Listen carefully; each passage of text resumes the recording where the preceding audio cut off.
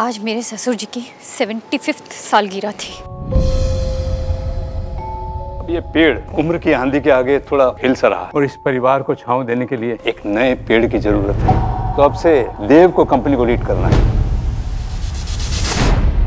अब चाहे जो करना पड़े मैं करने के लिए तैयार हूँ। तंत्र मंत्र शैतानी शक्तियों का इस्तेमाल मुझे बस देव सिकंद को खत्म करना है। है बर्बादी और मौत के खेल का काम ही तो करता है कुकर्मी। ए इस अंधेरी रात के बाद सिर्फ़ भयानक इम्तिहान शुरू होने वाला है। अंकल कोई तो तरीका होगा ना ये पता करने का कि कौन है ये जो तंत्र कर रहा है मेरे घर में? एक रास्ता है।